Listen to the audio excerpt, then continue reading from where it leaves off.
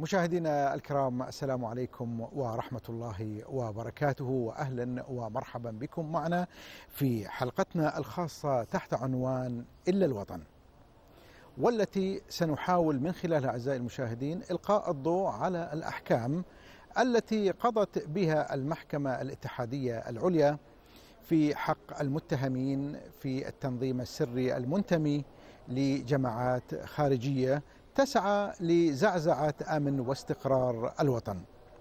وهنا نقول أعزائي إلا الوطن شعبا وقيادة إلا الوطن ارضا وامنا وسلاما إلا الإمارات حرية وكرامة وعدالة.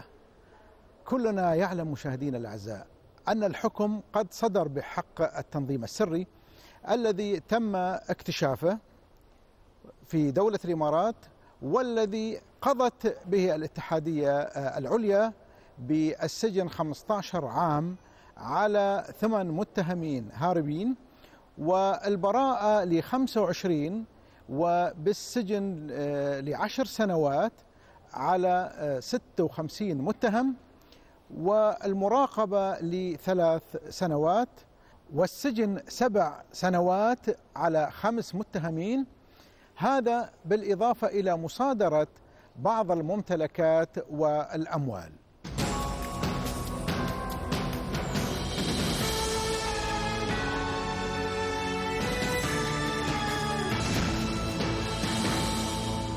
الحقيقة أن من حق المسلم على المسلم أخيه المسلم أن أن هو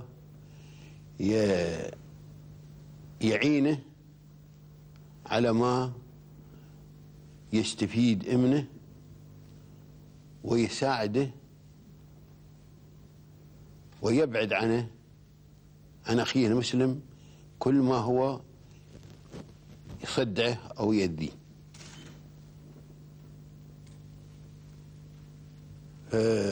واجب علينا جميعا كأمة مسلمة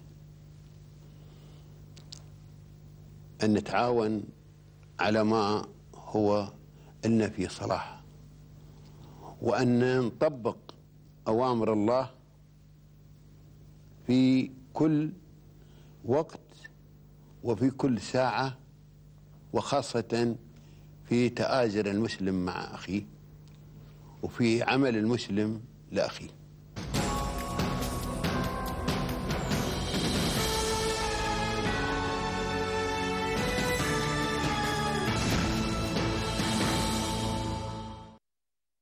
أعزائي المشاهدين دعوني في البداية. أرحب بكل من سعادة الدكتور علي راشد النعيمي مدير جامعة الإمارات والشيخ طالب الشحي مدير إدارة الوعظ وأيضا الكاتب الإماراتي والإعلامي سعيد الكتبي. أرحب بك معنا. الله يحييك. والمستشار القانوني الأستاذ زايد سيف الشامسي رئيس جمعية الإمارات للمحامين والقانونيين. يعني في البداية أرحبكم في هذا اللقاء الخاص. وأبدأ يعني مع الدكتور علي. دكتور قبل أن نتحدث عن تفاصيل الحكم والأدلة وسير المحاكمة خلني أسألك دكتور عن واقعة اكتشاف التنظيم السري على على مجتمع دولة الإمارات. بسم الله الرحمن الرحيم. في البداية الحقيقة قبل أن أتكلم عن هذه الواقعة ذاتها يعني أود يعني أن أستعرض بدايات هذا. متى بدأ؟ أه وجود مثل هذا التنظيم على أرض الإمارات. نعم. أه نحن ندرك أن أه كان في في في مصر وفي سوريا وفي العراق مشكلات للتنظيم الإخوان مع الأنظمة القائمة في تلك الفترة في الخمسينات والستينات. وكان أمام هؤلاء خيارين إما الاعتقال والسجن أو الخروج من من بلدانهم. نعم. والحقيقة لما خرجوا دول الخليج فتحت لهم أبوابها.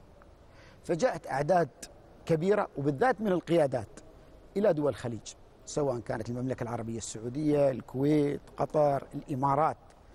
ودول الخليج بطبيعتها بالذات الإمارات طبيعة الشعب طيب.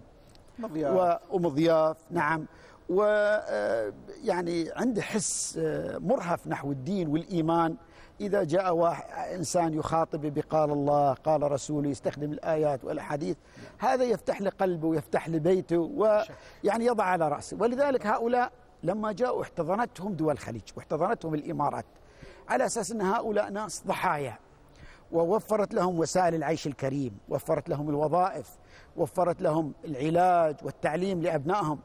بل يعني أنا لا أفشي سرا كثير من القيادات اللي موجودة الآن قيادات تنظيم الإخوان سواء كانت في مصر أو في سوريا أو فلسطين أو العراق درسوا في الخارج على حساب دولة الإمارات. صحيح. وبل إن بعض القيادات كانت تمسك مناصب عليا في الإمارات.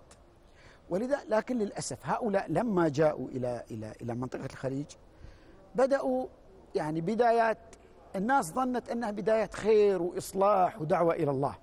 لكنها كانت بدايات زرع جذور التنظيم بين أبناء دول الخليج للولاء والانتماء والطاعة لهذا التنظيم. ولذلك يعني من هنا بدأت. سيطروا على التعليم وعلى مؤسسات الوعظ والأوقاف. يعني المساجد الشؤون الإسلامية كانت تحت سيطرتهم بالذات الإمارات. بل إن القيادات اللي كانت تتولى التعليم في في الثمانينات مثلا جامعة الإمارات آه، وزارة التربية والتعليم آه، وزارة الشؤون الاسلاميه والاوقاف في ذلك الوقت كانت قيادات إخوانية. آه، ونحس يعني عندنا شيوخنا طيبين. صحيح. يعني كانوا ما يقبلون أي حد يأتي يشي بالآخرين ويعني يقول عنهم كلام سيء كانوا يحسنون الظن فيهم. وكانوا يتكلموا معهم بحس يعني في نوع من النصح الرقيق إن أنتم هنا أنتم مثل إخواننا هذه بلدكم. آه، نريد يعني إنكم تكونون آمنين ونريد نستفيد منكم. لكن للأسف الشديد أن هؤلاء بدأوا آه، في زراعة بذرة آه، جعلت الولاء والانتماء لتنظيم الإخوان المسلمين وليس لهذا الوطن. ولذلك عندما اكتشف هنا عندنا في كيف كان وقع في دولة الإمارات؟ هو الحقيقة اكتشاف مش فجأة. الإمارات تعاملت مع هؤلاء كمواطنين آه، بهدوء. وبطبيعتنا نحن شيوخنا طيبين. لما يسمعون إنسان مغلط يجيبونه يرسلون له واحد يكلمه ينصحه بحسب الألفة اللي عشناها نحن. وطبيعة تقاليد مجتمعنا في الحقيقة. وهذه مرت على سنين طويلة. صحيح. يعني الآن بعض الناس يقول لك يا أخي نريد حوار. ليش ما نصحوهم؟ ليش ما كلموهم؟ لا نصحوهم. تمت مناصحتهم نعم. وتم الحوار معهم ولكن مع الأسف. نعم. ولذلك يعني نحن الحقيقة أنا الذي أريد أن أقوله أن التنظيم هذا مش قضية تكتشف الآن. هذا التنظيم كان موجود. لكن طبيعتنا نحن وطيبة شيوخنا كانت تتعامل إن هؤلاء أبنائنا بننصحهم ما نتوقع منهم هذا ما نتوقع منهم السوء ولا نتوقع منهم الضرر.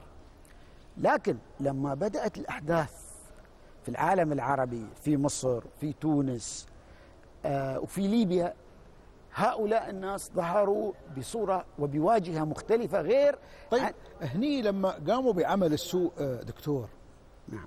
كيف كان وقع هذا الأثر على أبناء دولة الإمارات على على مجتمع دولة الإمارات طيب هو الحقيقة يعني الناس طبيعة الناس لما تشوف إنسان مصلي وإنسان يعني قد سمات آه، الصلاح على طول ما تتوقع تسلم له عرفت كيف؟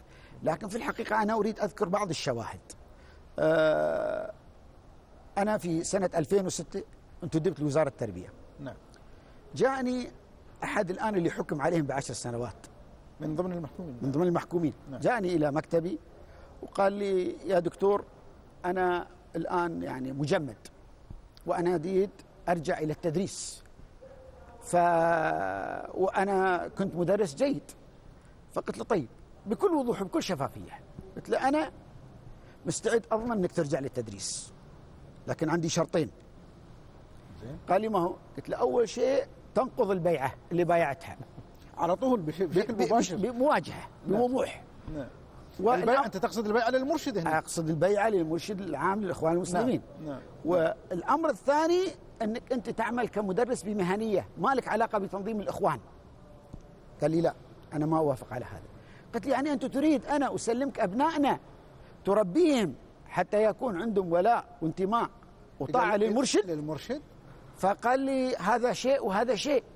كيف يعني هذا شيء؟ أي نعم. هذه هي المشكلة. هذه يعني, الولاء والانتماء يجب أن يكون للدولة. يعني هذه واقعة أنا بنفسي عايشتها.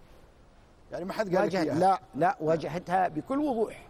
بل حتى أنا أقول لك يعني بعض اللي, اللي محكوم عليهم ممن كانوا في جامعة الإمارات. أنا اتكلم أنا تكلمت معهم بكل وضوح. في بدايات 2002 و2003 في هالسنوات هذه. آه عن هذا الموضوع وبكل شفافية. ويعرفون أنا أعرف من هم. يرفضون ابدا الخروج من عباءة التنظيم يريد إنك أنت تفتح له المجال أن يعمل وينشط لكن يربي أبنائك وبناتك على الانتماء لهذا التنظيم ويخرب أيضا. نعم. تلقائية لأنه إذا نزع إذا نزع ولاءه لقيادتك ولوطنك هذا تلقائيا تصبح هذا عنصر- هذا هذا يعني بمثابة قنبلة موقوتة داخل هذا المجتمع. نعم. طيب أنا يعني آه، أتجه إلى آه، الشيخ طالب آه، أيضا. الدكتور قال الشيخ طالب إنه هذه الجماعة كانت تتكلم باسم الدين والإسلام. هل فعلا هؤلاء الناس كانت نواياهم صادقة تجاه الإسلام والدين ولا هذا ستار؟ وحتى أنهم يعني يحققون كل مآربهم وأجنداتهم من خلال الدين. باب الدين باب واسع جدا. كل إنسان بيتكلم باسم الدين حتى في عهد الرسول صلى الله عليه وسلم. عليه الصلاة والسلام. يعني من أصحاب التنظيم فيها؟ المنافقون. يعني ما كان أصحاب التنظيم في عهد الرسول صلى الله عليه وسلم عليه الصلاة الذي كان فيه الخفية وكان حتى يعني تجهيز الناس في هذا الجانب وإعدادهم كان هم المنافقون. حتى الذين خرجوا حتى في عهد آه، عثمان رضي الله عنه أولئك فئة فئة ضالة جدا. لذلك هم يظهرون مستحيل يظهرون باسم غير الدين. ليش؟ لأن كيف يجذب الآخرين مثل ما قال الدكتور قال بيئة الإمارات بيئة الناس تحب الإسلام تحب الدين في حد ما يحب الدين هذه يعني فطرة. رجل الدين دائما مقدر مقدر يوم. يجيك تجلسي ينبك هي نعم صحيح ما في الميلس وين تجلس أنت رجل الدين؟ تجلسي ينبك إيه. في صدر الميلس فلذلك هم أصلا باسم الدين يأخذون كستار يوصلون به إلى يمكن بعضهم في قلبه هذا الشيء لكن هذا الإنسان إيش؟ غرر به أصلا. ليش؟ لأن أصلا كيف كيف قرر به؟ غرر به مثلا يقول لك؟ تعال نحن نريد نحكم الشريعة الإسلامية مثلا. آه، نريد نحن مثلا تعال ما تشوف الشيء الفلاني طيب وين وين يعني وين غيرتك الدين؟ فهو يعني تأخذ؟ يفسروا له الآيات القرآنية تفسير خاطئ؟ على حسب حسب مزاجيتهم مزاجيتهم نعم لأن الدين الإسلامي يبني على على فهم واضح جدا قواعد العلماء السابقين كم تكلموا وضعوا القواعد وضعوا الأصول وضعوا التفسير وضعوا شرح الأحاديث حتى يفهم النص على على قواعد معروفة لكن هذا ياخذ الفهم على وين؟ على فهم جماعته هو. مش على فهم القواعد العلماء التي وضعوها إنما على فهم جماعته جماعته؟ جماعته لأنه. هو مسير في النهاية. هو مسير. ولذلك ياخذ الفهم من وين؟ تقول له العالم الفلاني تقول له قال الإمام النووي تقول له قال ابن حجر تقول له قال ابن عباس ما يسمع لك. لكن هناك مقولة دكتور نعم. يعني الاتباع يقتل الإبداع. هذه هذه قاعدة ولكن هو يسمع يسمعون كانوا يسمعون لمن؟ تبقى تبقى السماع لمن؟ هو مربى أصلا. لا تسمع لفلان. لا تسمع للشيخ الفلاني. لا تسمع للعالم الفلاني. يعني تعليم حسن البنا مثلا؟ تعليم فقط. لذلك هؤلاء أنا شفت بعضهم. أنا حتى كنت يعني هم يستمعون لي يقرؤون لحسن البنا أكثر ما يقرؤون للرسول أو يستمعون لاحاديث أقول الرسول. لك حديث الرسول صلى الله عليه وسلم هذا فهمه. فهم مثلا حسن البنا هذا فهم للنص الشرعي. تقول العالم الفلاني ما ياخذ أصلا ليش يقول لك هذا العالم الفلاني يخالف الأسس اللي هو تربى تربى عليها؟ فلذلك ما ياخذ. هو الحقيقة يعني ال- ال- التبرير هذا أن هؤلاء في عنقهم بيعة. أنا أدرك أنا. أدرك أن للمرشد. يعني كثير من عامة الناس عندنا ما يتصور أن هذا فلان اللي يصلي معنا في المسجد أو ابن فلان أن هذا قد يبايع حد غير قيادتنا. أنا مرة في كنت في نقاش على تويتر مع أحد المحكوم عليهم في السجن الآن. وأثرت قضية البيعة معه. فقام يعني يتهرب من الإجابة. اليوم الثاني نعم. التقيت بأحد أخوة الهاربين الآن في الخارج واللي محكوم عليهم 15 سنة. أحد أخوتهم موجود في الإمارات. فسلم علي وقال لي دكتور أنا شفت الحوار أمس بينك وبين فلان. لكن أبغي أسألك ليش يكذبون؟ قلت له كيف يعني؟ قال يا أخي أنا دعوني للبيعة. أنا شخصيا نعم. جمعوني جابوني وجلسوني في مكان وقالوا لي لما لازم تبايع. ولما رفضت بدأوا يعني يتوعدوني كيف أنا ما أبايع. ولذلك أنا من ذلك اليوم بديت أبتعد عنهم. لكن أنا أعرف إن هناك بيعة وأعرف إن هؤلاء اللي استمروا في هذا التنظيم هؤلاء مبايعين وبيعة للمرشد وهذا اللي طلبوه مني أنا. والحقيقة على الإخوان المسلمين يجب إيه نعم. نوضح المسألة. ولذلك هنا الحقيقة أنا يعني أعتقد إن في كثير من الناس اللي كانوا معاهم عليهم مسؤولية وطنية. أن يخرجوا للناس وأن يتحدثوا بالقضايا التي يعرفونها في هذا المجال. لأن الصمت هاي كيف تم استقطابهم؟ كيف تم تجنيدهم هؤلاء الناس بهذه السهولة؟ هؤلاء تم استقطابهم من خلال المدارس. الواحد في الصف الأول إعدادي والثاني الإعدادي يأخذوه. والأب والأم يشوفون هؤلاء بيأخذون العمرة بيأخذون رحلة بيأخذون محاضرة كان تنظيم ندوة. الاسر تنظيم الأسر كانت نعم. موجودة. لكن هو المهم الآن أنا أعتقد واجب وطني على كل من كان معهم ويعرف شيء من هذه المواقف أن يذكرها للناس. لأن بعض الناس يتصور أن الآن الدولة متحاملة. هذا على- واجبهم على وطنهم على على, على شعبهم. نعم, نعم. وهذا هذه نحن هذه مش مسؤولية آه، الدولة. ولا مسؤولية جهاز الأمن ولا مسؤولية وزارة الداخلية. ولا مسؤولية الجيش هاي مسؤولية كل مواطن أفراد وكل حتى مش. الا المواطن حتى المقيمين اللي على هذه الدولة وينعمون بخير هذه الدولة ويحرصون وأكيد أنا متأكد الكثير منهم يحرص على استقرار وأمن هذا البلد أن يبادروا يكشفوا ما يعرفون عن هذا التنظيم لخطورته الحقيقة. الله. مش علينا فقط نحن صح. إنما على المنطقة كلها. وخطورته عليهم هم بعد. نعم. نعم. أنا قبل لا أروح إلى آه، الأستاذ آه، زايد الشامسي والأستاذ سعيد آه، الكتبي. خلوني خلوني أروح إلى فاصل. نتابع من خلاله آراء بعض الناس ويعني وبنتكلم بعدين معكم حول آراء الناس حول التنظيم السري في آه، اللي تم اكتشافه عندنا في دولة الإمارات. نتابع مع بعض. هذول الناس اللي جايين يبغوا يغيرون في دولة الإمارات هؤلاء ناقصين عقول اللي بيقلب الحكم هذا يعني بيخرب. يعني ما أدري شو مصلحته يعني. ما أدري يعني إيش مستفيد يعني. الحمد لله نحن ما شيء قاصر علينا. ليش نغير الحكم؟ كل إنسان هو عقله. واللي يمشي وياهم. اللي يمشي وياهم خربوه اخترب. إذا مشى وياه وإذا مشى ويا ناس أوكي؟ وكل شيء. الولد مستحيل يخرب ولا شيء. حسبي الله ونعم الوكيل. لأن إحنا بنحبكم. إحنا بنحبكم وبن... وشعبنا بيحبكم. كله. أي حد بقى يقول غير كده يبقى حسبي الله ونعم الوكيل. الناس ديت آه، أقول إيه يعني الناس ديت م- آه، المفروض ما فيش حد يسمع لهم خالص. ما حدش يسمع لهم نهائيا.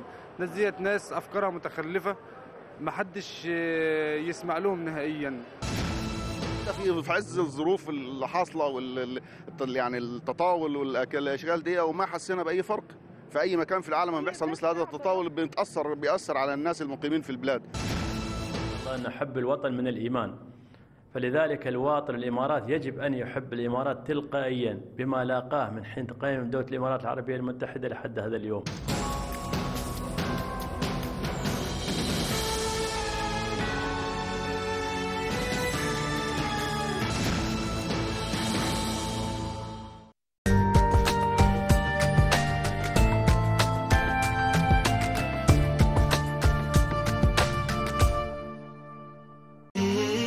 كتشابك النسيج. كحبات اللؤلؤ في عقد ثمين. تعاليم ديننا في تماسكها وتراصها. لتكتمل أركان الإيمان في حياتنا اليومية في تعاملاتنا مع الآخرين والمجتمع في عباداتنا زكاتنا وتربية أبنائنا.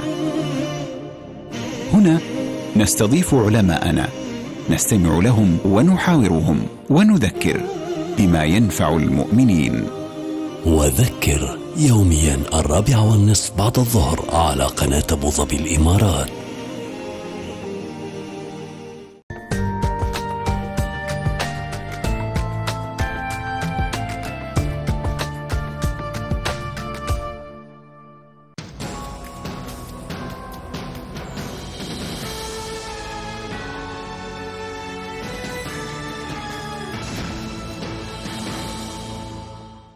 الإمارات التي خصها الدستور بنظام قضائي مستقل تماما عن السلطتين التشريعية والتنفيذية يتمتع أعضاؤه بحصانة غير مسبوقة ورؤية شديدة الشفافية تسلح بها القضاة فطبقوا القواعد من شرع الله والدستور. تسيد علو تشريعه في المحكمة الاتحادية العليا التي تكفل كل الضمانات الدستورية لرئيسها وقضاتها بمجرد تعيينهم وحلف اليمين أمام رئيس الاتحاد.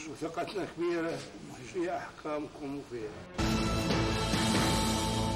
وظيفة الحكومة يا الأخوة هي تحقيق السعادة للمجتمع تطوير التعليم والخدمات الصحية وتوفير الوظائف والفرص وتطوير البنية التحتية وتحقيق العدل وتسهيل حياة الناس. كل ذلك يحقق السعادة للناس. هذه لعيالنا. أمنهم معيشتهم استقرارهم أمانة في رقابنا وايد مهم أن نسوي تغيير وطفرة وأن تكون دولة الإمارات قدوة.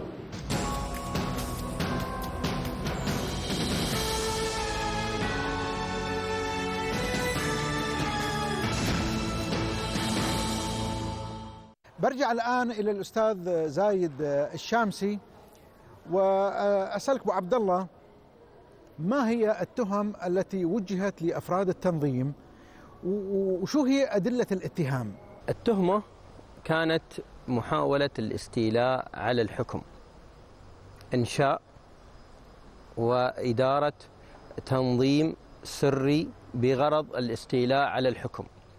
هذه هي التهمة التي وجهتها النيابة العامة إلى المتهمين. أثناء سير الدعوة والأدلة. هي أثناء سير الدعوة تم طرح الأدلة الصوتية. طبعا أول شيء استمعنا إلى شهادة الشهود الذين كانوا تكلموا عن التنظيم السري والدعوة العلنية دعوة الإصلاح وماذا وهي كانت الواجهة عقب التنظيم. والتنظيم هذا كيف يتم إعداد واستقطاب الشباب إلى هذا التنظيم؟ كيفية الولاء إلى المرشد أو الولاء إلى يسمونه المرشد العام طبعا في مصر. نعم. ونقض بيعتهم لصاحب السمو الشيخ خليفه والإجتماعات السرية التي كانت تدار داخل الدولة. وهناك تدريبات لهم خارج الدولة ودو... أي نوع من التدريبات؟ أي دورات يأخذونها دورات. دورات خارج الدولة دورات إدارة دورات عمل استراتيجيات إدارة أزمات. في الإدارة هذه يعني هم تخريب مثلا؟ لا إحنا نتكلم عن شو؟ عن بناء العقلية. عقلية نعم. الإنسان اللي يستثمرون في عقليته كيف يأثر على نعم. الآخرين كيف يكون مؤثر في المجتمع كيف ينجح في المجتمع يكون له كلمة في المجتمع هذه كلها استراتيجية نعم. لهم في دورات حضروها دورات كيف إثارة الناس كيف تشجيع الناس على الاعتصام ولذلك هناك يوجد آه على اليوتيوب فيديو نعم. لبنات أحد المحكومين حضرت دورة من من دورات أكاديمية التغيير وخاطبت المدرب.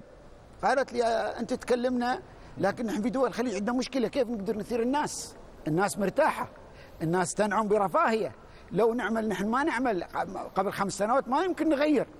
فكيف نعمل حتى نستطيع أن نحن نثير الناس؟ نعم. ولذلك هذه من الدورات دورات يعني مثل هذه الأدلة هل تم تقديمها إلى المحكمة؟ نعم. إثارة الناس؟ هذه أمام أمام المحكمة أنا بديت في أقوال الشهود.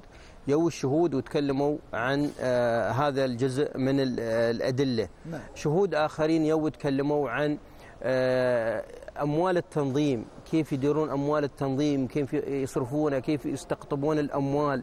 وين يستثمرونها؟ بالكامل. تنظيم يعني له آه تقريبا وزير مالية طيب يديره بالكامل. أبو عبد الله آه أنت ذكرت التمويل. منو كان يمولهم؟ من وين يأتون بأموال التمويل؟ من وين يحصلون؟ نعم. يعني أول يعني أنا اللي أعرف إن أموال كبيرة جدا ومبالغ طائلة يعني. أموال ضخمة جدا. نعم. آه أول شيء الاشتراكات اللي ينضم إلى التنظيم نعم. يستقطع نسبة من راتبه ومن دخله لصالح التنظيم. تقدر بكم النسبة؟ تقريبا أنا آه على حسب ما أذكر 5 إلى 7% على حسب رتبة الواحد فيهم. هي رتب ترى كلهم واحد بعد. هي واحد جديد واحد قديم واحد مقرب. على حسب الأقدمية. إي نعم في أقدمية. نعم. وكل ما أنت تتقرب تصبح قيادي كل ما تزيد النسبة هذه. آه، هذه هذا شيء. بعض بعض المؤسسات اللي كانت تجمع التبرعات للخير وتبرعات كذا وكان يقولون بن- بنسوي مسايد لكم وبنسوي وبنسوي كانوا يأخذون هاي الأموال ويضمونها إلى اموال آه، التنظيم. ال- كذلك بعض الشهود تكلموا عنها تكلموا عن الاستثمارات يقومون باستثمارات لمصلحة التنظيم. نعم طيب هل تم آه، يعني من خلال آه، تم خلال القبض عليهم هل تم يعني وجود العثور على أجهزة كمبيوترات شيء أدوات معينة نعم تدينهم؟ نعم أنا يتراسلون فيها مثلا؟ أنا تكلمت عن ال- يعني فقرة فقط من الإثباتات. كذلك هناك الكمبيوترات والهواتف حصلوا فيها بلاوي. هي أبو أبو عبد مثل- الله بلاوي مثل شو؟ الست خبيرات اللي اللي حضروا بعد في الشهود بعد آه، الأربع شهود اللي نعم. حضروا في المحكمة. أيضا كان في ست خبيرات اللي هم آه، خبيرات آه، آه، أعتقد في الجرائم الإلكترونية. نعم. اللي هم حضروا ست خبيرات. كانوا يحضرون دائما في ال- في المحكمة. لا لا حضروا واستمعت المحكمة إلى ال- الخبراء سواء كانوا يسمون من ال- المختبر الجنائي وهناك خبراء آخرين بأتي في, في ذكرهم. آه، تكلموا عن آه، تفاصيل ما هو موجود في أجهزتهم. شو موجود في الأجهزة؟ وهذا كلها يعني ساعدت في إدانتهم. كذلك هناك تسجيلات صوتية وفيديو. نعم. واضحة وضوح الشمس. أحد التسجيلات إحنا يعني كلنا انصدمنا. ما بس إحنا الحاضرين حتى أهالي الموقوفين. أنا يعني علاقتي آه، جيدة وياهم. واحد من قال قال, قال والله إني انصدمت. هذا الكلام ما يقال. أحد المتهمين كان يعني ياس- يثير الناس الحاضرين على التغيير ويقول عن دولة الإمارات إنها دولة متهالكة. وأن إحنا لا وإحنا فرسان التغيير ولا وإحنا بن بنقود هذا التغيير حتى لو أسال أسيلت الد- الدماء على الشوارع. إلى هالدرجة يفكرون؟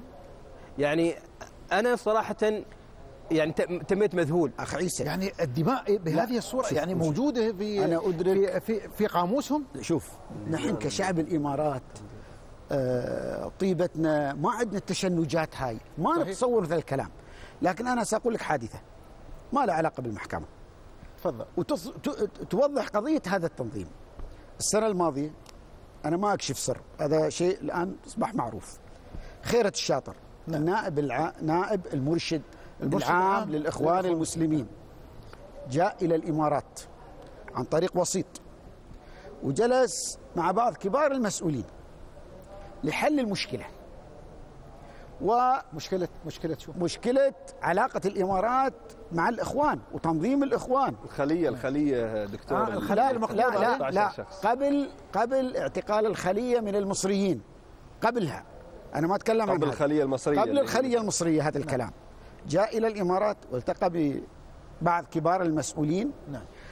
وابدوا له أن نحن ما عندنا مشكلة مع مصر. مصر قوة مصر من قوة الإمارات. ونحن حريصين على استقرار وامن مصر. لكن نحن ما نقبل أن تنظيم يعمل ويهدد أمننا ويهدد استقرارنا. وإذا أنتم كجماعة بتكفون شركم عنا نحن مستعدين ندعم مصر الوطن ومصر. البلد. فوعدهم خير. هذا كلام جديد يقال لأول أول مرة, مرة. وخطير. نعم, نعم. المهم وطلب دعم. والإمارات تكفلت بتوفير كل الدعم اللي تحتاجه لمصر. بشرط الأمور تكون واضحة. أولا بإيقاف نشاط الإخوان المسلمين في الدولة. طيب؟ والتوقف عن تصدير هذا العمل خارج مصر. وتقديم مشاريع تخدم المواطن المصري. وعدهم خيرة الشاطر خير. نعم. وراح ورجع وجاء بطلبات إلى الإمارات. تم الموافقة عليها. وتم التفكير في آلية وقالوا نحن الآن بنبحث وندرس الآلية تنفيذها. ورجع إلى مصر. لما رجع إلى مصر يوجد في مصر مجموعة من الهاربين الإماراتيين. اللي حدث انه وصلت معلومة هنا إن خيرة الشاطر بعد زي بعد اجتماعه الثاني مع كبار المسؤولين في الدولة لما رجع إلى مصر استقبل مجموعة من الهاربين الإماراتيين في بيته. وبدأ يعطيهم توجيهات على كيفية إدارة العمل في المرحلة المقبلة. يعني هو أخل بالاتفاق. نعم. ووصلت المعلومة إلى هنا. ولذلك الجماعة هنا اتصلوا بالوسيط. قالوا الآن أنت جبت لنا هذا الرجل وهذا رجل مسؤول. ووعدنا وتعهد. لكن انظر ماذا فعل. فالوسيط صدم. فرجع إلى خاطب خيرة الشاطر. وقال له أنت كيف تعمل كذا؟ طبعا يعني استغباء الآخرين وتصور السذاجة والسطحية فيهم. قال والله أنا جوني ضيوف البيت ضربوا الباب فأنا لازم أستقبل ضيوفي في البيت. ف وهذا يبين الحقيقة يوضح. أنا ما أتكلم عن المحكمة. خيرة الشاطر دكتور مضياف يستقبلهم ويوجههم أيضا. نعم. أنا ما أتكلم الآن عن المحكمة لكن أنا اللي أريد أن يفهم كل مواطن إماراتي أن هذا تنظيم وأنه يقاد من الخارج.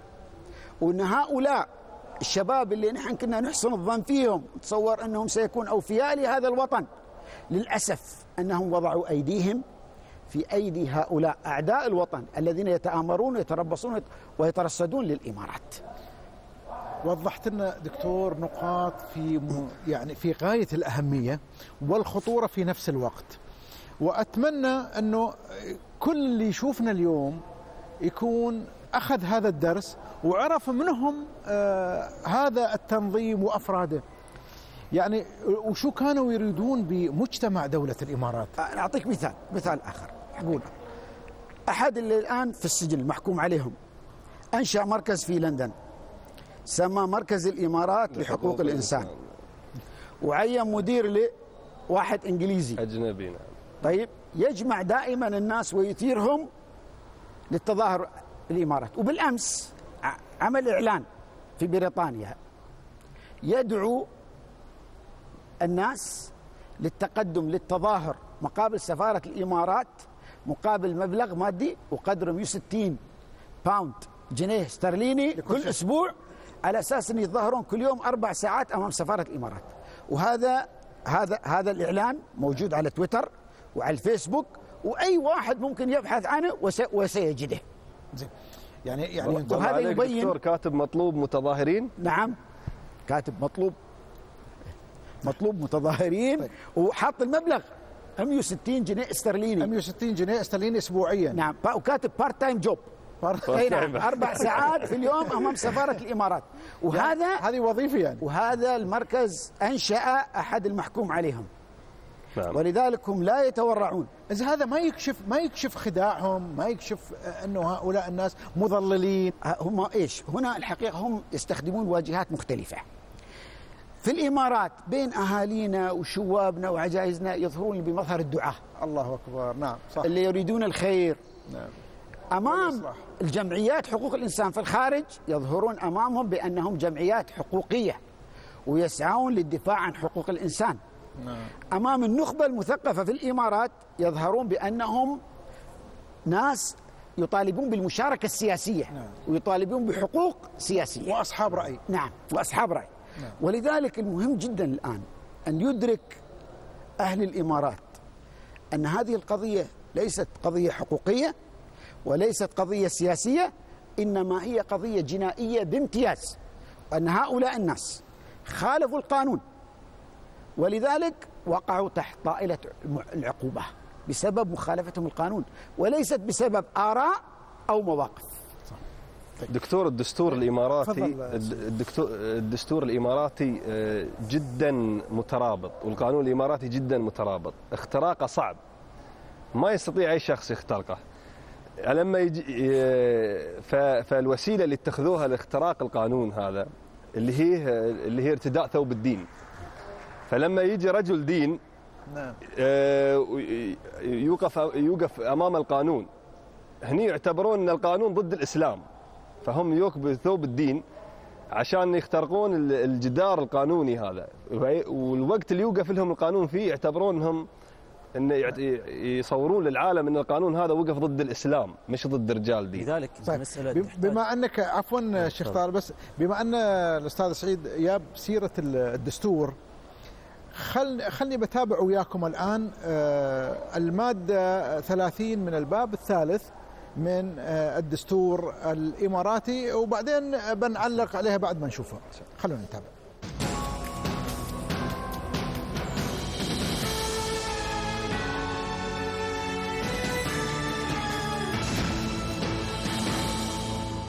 من دستور الإمارات العربية المتحدة الباب الثالث. المادة الثلاثون. حرية الرأي والتعبير عنه بالقول والكتابة وسائر وسائل التعبير مكفولة في حدود القانون.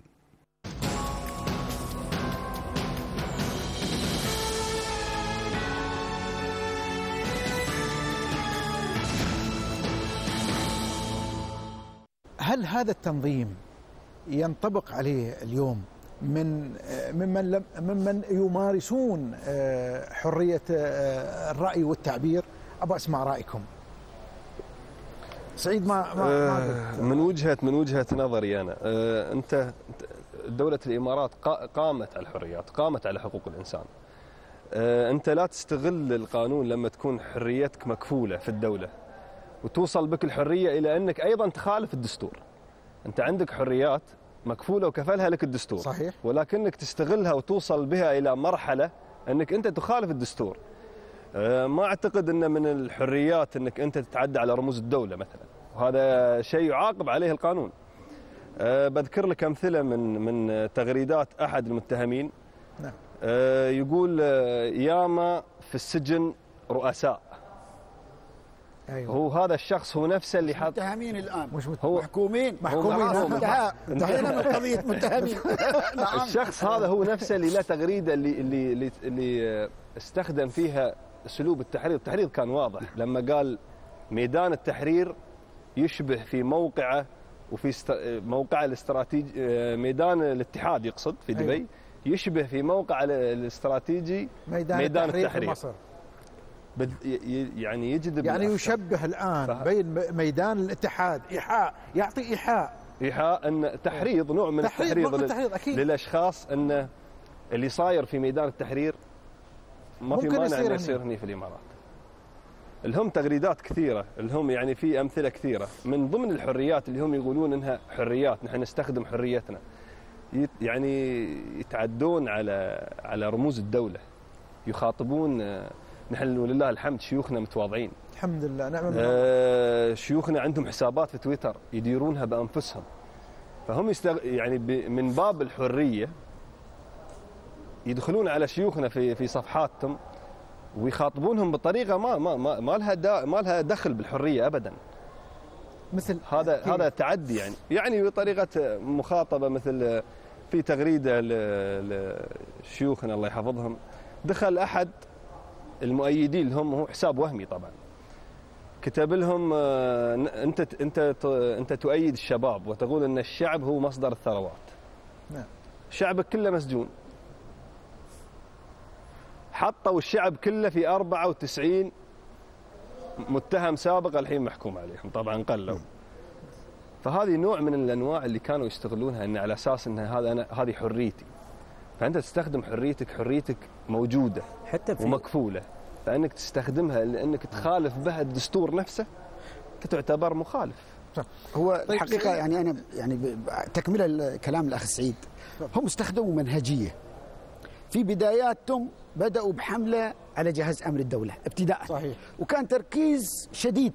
نعم. والتركيز هذا كان في دولة الإمارات بأنها دولة بوليسية وأنه لا لا جهاز الأمن في البداية و- وتبادل أدوار. نعم. يعني كل يوم مجموعة تقوم بهذا الدور ويساندونهم إخوان بعض الإخوان من الخليج. بعد فترة لما شعروا يعني ان يعني فرغوا ما عندهم. يعني خلاص قدموا اللي عندهم فيما يتعلق بمهاجمة جهاز الدولة. بدأوا ينتقلون رويدا رويدا إلى رموز. يعني مثلا في تغريدة شبهوا الشيخ محمد بن زايد بهتلر. ويمكن الصورة موجودة في تويتر. هاجموا الشيخ سلطان لما قال لهم أنا الحضن الدافئ لكم تعالوا لي. لو شفت تغريداتهم في تلك الليلة سخرية واستهزاء ما يليق ابدا بمقام حاكم يعني يدعوكم إلى أن يرعاكم ويفتح قلب لكم كان ردهم سلبي. يعني يعني يبغى يحاورهم. نعم. آه الشيخة جواهر تكلمت كلام طيب هاجموها هجوم قاسي. أنا ما أريد أذكر التغريدات لأن ما يليق أن تذكر أبدا لكنها موجودة في الحقيقة ومرصودة وال- والجميع يشهدها لكن السؤال إذا كان هؤلاء دعاء إلى الله إذا كانوا هؤلاء يمثلون الخير والصلاح والاستقامة كيف تتجرأ أنك أنت تسب وتشتم وتفتري وتكذب وتطعن في يد امتدت إليك بالخير. يجب أن تكون عفيف. نعم. هذا هم يحاولون ينشرون. تفضل. شوف لأن المسألة هي كما نبدأ نحن هذه مسألة قانونية كيف القانون؟ كذلك نظهر لابد نظهر للناس أن هذا جانب شرعي جانب ديني. تجر على الدين. لأن الرسول صلى الله عليه وسلم لما كان في زمن هو الرسول صلى الله. عليه وسلم ما حد قدر يجرع إلا كم واحد قال اتق الله فإنك لم تعدل. قال إن لم أعدل فمن يعدل. هذا تجر على الرسول صلى الله عليه وسلم. ولذلك الرسول صلى الله عليه وسلم وضع قواعد وأسس. الناس لابد تعرف هذه القواعد الأسس. لماذا؟ هذا إن ظهر باسم الدين يتبادر إلى ذهن تلك الأحاديث عن الرسول صلى الله عليه وسلم وهو يقول يعني يقول أنس رضي الله عنه نهانا كبراؤنا من؟ أبو بكر وعمر وعثمان ابن عباس وفلان وفلان. قال لا تبغضوا أمراءكم ولا تسبوهم ولا تغشوهم واتقوا الله واصبروا. يعني هذا فعل قول الرسول صلى الله عليه وسلم وفعل الصحابة مع التعامل حول هذه المجريات. يعني لما أنا أي وأبين للناس انتبه ولي الأمر في الشرع هو خط أحمر. خط أحمر ما تجر عليه هذا هذا التوجيه في حالة الابتلاء. نحن الحمد لله في نعمة ورخاء وخير يحسدنا عليه القريب والبعيد. آه، دكتور يعني حتى في عهد الرسول يعني هذه الفتن هي تظهر حتى في عهد الرسول لما كان يوزع مال قال واتق الله فإنك لم تعدل. قال إن لم اعدل فمن يعدل؟ شوف هذا الرسول صلى الله عليه وسلم. لذلك الأحاديث الواردة كلها تصب في طاعة والامور بأشد ما يمكن. أشد. قال من خلع يدا من طاعة لقي الله ولا حجة له. ومن مات وليس في عنقه بي- بيعة مات ميتة جاهلية.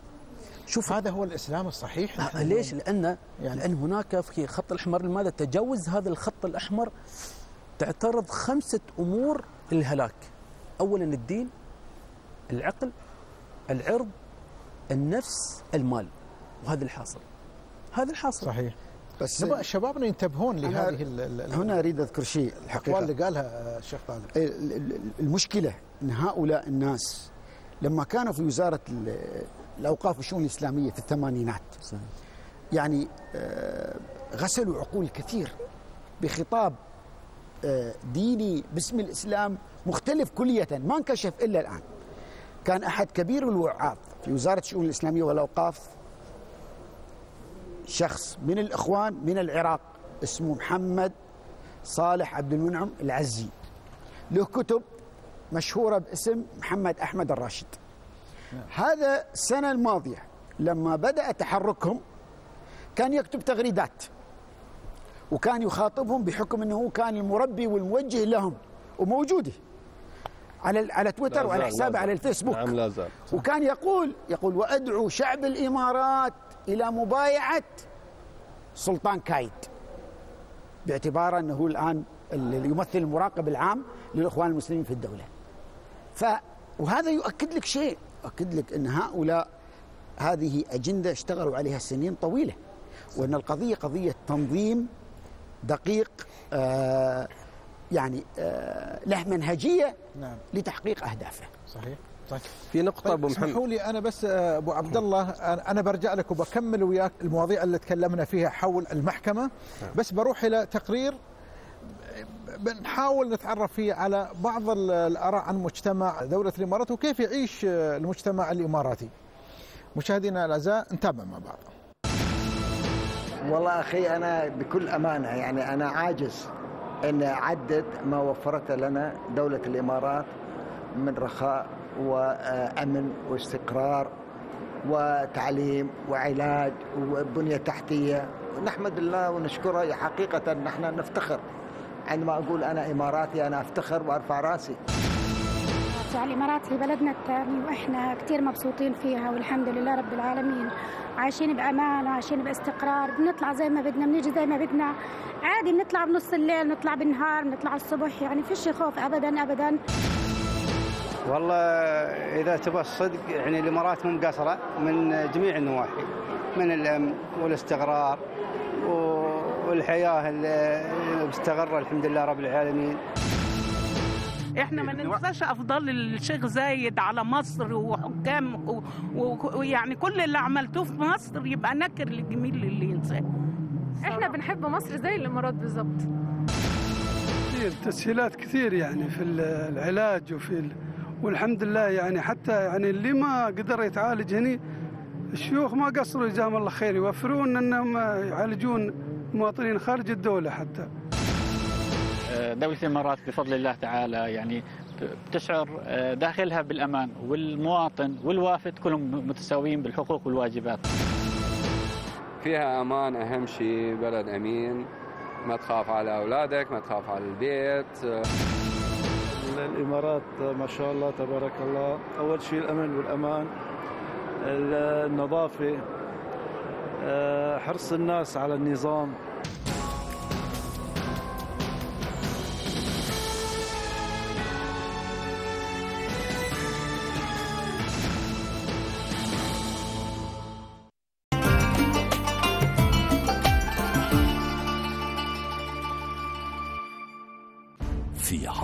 مجالس لهذا الأسبوع. مجلس حمدان مسلم المزروعي. الوقف يعتبر أهم المصادر الإسلامية في أعمال الخير. إذا أنت اليوم تفكر في الرحمة وما أرسلناك إلا رحمة للعالمين. ما قال لا أرسلناك رحمة للمسلمين؟ صح.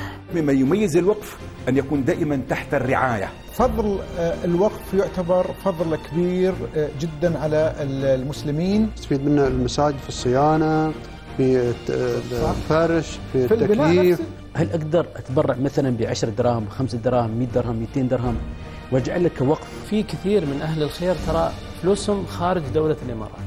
نحن نعيش عصر جديد اليوم وبالتالي يجب أن يكون الاستثمار أيضا في البحث العلمي في التعليم في التدريب المهني. مجالس الأحد العاشرة مساء على قناة أبو ظبي الإمارات.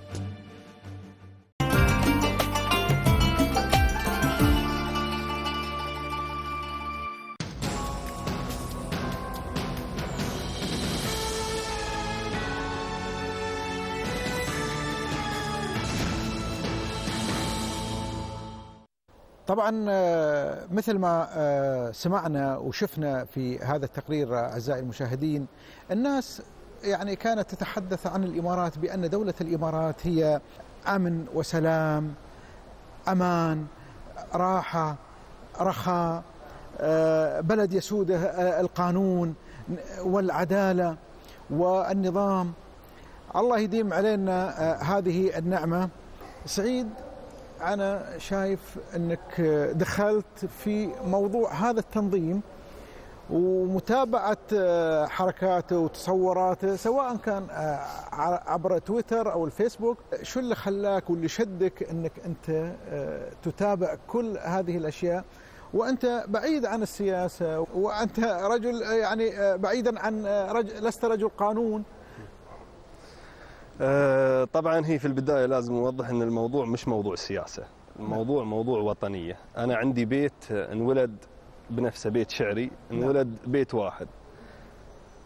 حافظ على وافي بلاده تناديه وقف لها ولبى يسابق نداها. البيت حافظ على وافي بلاده تناديه وقف لها ولبى يسابق نداها. الله أكبر. طبعا لما قرينا كتب كثيرة في الهوية. وأكثر الكتاب والمفكرين قالوا إن الهوية وحدة وعندك عدة انتماءات. من مولدك وتكسب شكلك الخارجي اسمك تكوينك الجسدي. وعندك طبعا اللي هي انتماءاتك الدينية انتماءاتك الإقليمية انتماءاتك القبلية. أنا أكلمك عن الهويات. موجودة معنا بالفطرة. أنا هي نعم. أنا أكلمك عن الهويات وماخذ دولة الإمارات من حزمة العالم طبعا. نعم. لما برجع لدولة الإمارات تلقى أقوى الهو أقوى هوية موجودة فيها والهوية اللي بارزة اللي هي الهوية الوطنية. نعم.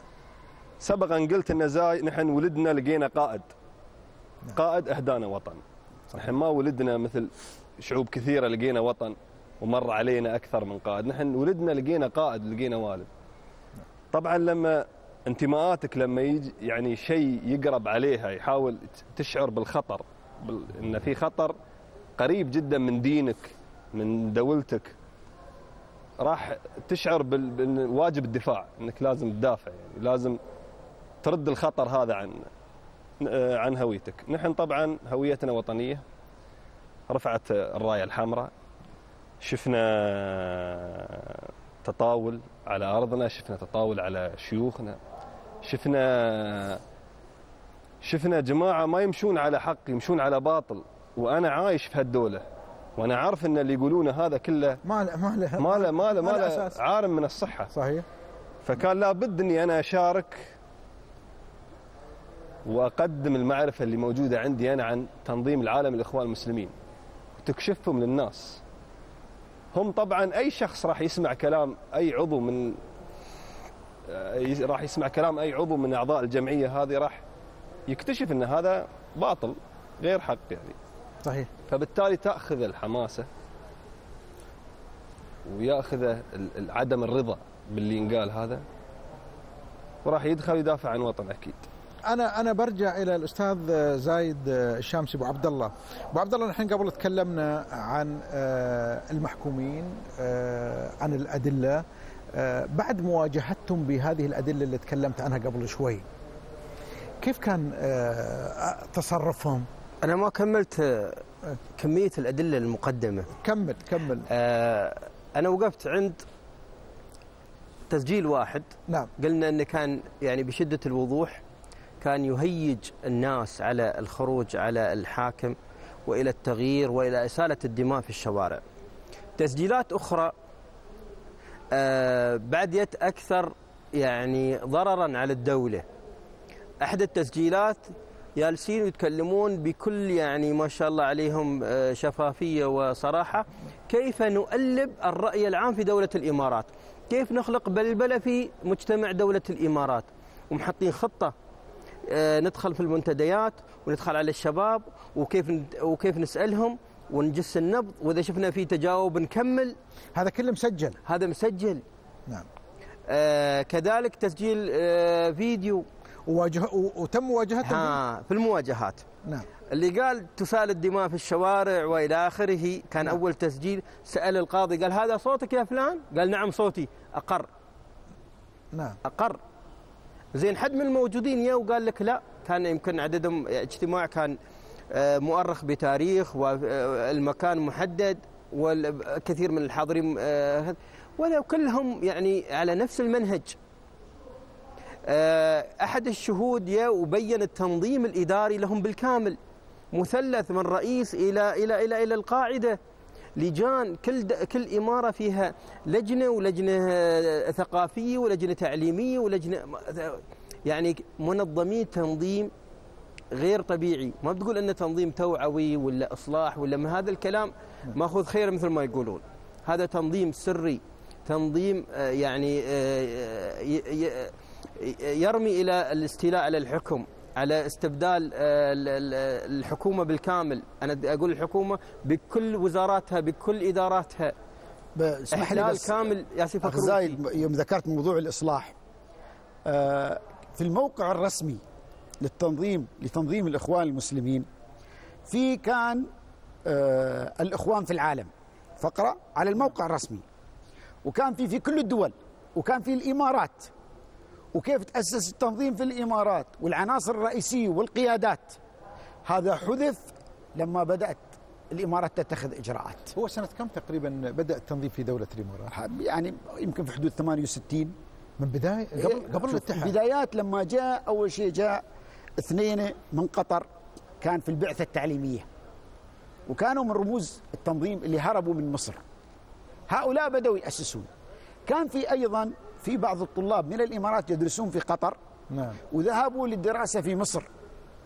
وهؤلاء تم استقطابهم هناك. استقطابهم في قطر ثاني واستلمهم التنظيم في مصر واحتضنهم وتشكلت منهم قيادات. وهؤلاء لما جاءوا إلى الإمارات هم اللي مسكوا وزارة التربية وزارة الأوقاف وجندوا وظفوا الإخوان في الحقيقة. بس أنا لا اريد يعني الأخ زايد يكمل بس الشاهد ان إن لما ذكر مسمى الإصلاح هذا مسمى الآن استخدم. صحيح. لكن كان لهم هم جزء على الموقع الرسمي للإخوان المسلمين وتم حذفه. تم حذفه قريبا. أحد المحكومين دكتور في له فيديو يقول نحن آه، نحن ما اتخذنا مسمى الإخوان المسلمين لأنه غريب على المجتمع. مسمى الإخوان المسلمين غريب على المجتمع فنحن ما أخذناه فبدلنا اخترنا اسم دعوة الإصلاح. فيديو موجود. يعني يعترف إنهم كانوا كلمة الأخوان إنهم أخوان ما بيتقبلها المجتمع بس انه غريب على المجتمع فاتخذوا نعم. كلمة دعوة الإصلاح. دعوة تفضل أبو عبد الله. بارك الله فيك. آه، قلنا من آه، الهيكل التنظيمي لهم. كذلك المحكمة كانت واعية وانتدبت خبراء لتتبع أموال التنظيم. ومن التقرير ومن الحكم نجد أن المحكمة تيقنت بأن هناك أموال للتنظيم تدار لمصلحة الاستثمار لمصلحة التنظيم ودعم التنظيم وإلى آخره مما المحكمة حكمت بمصادرة هذه الأموال كلها. من مجموع هذه ال- الأدلة المحكمة بنت حكمها.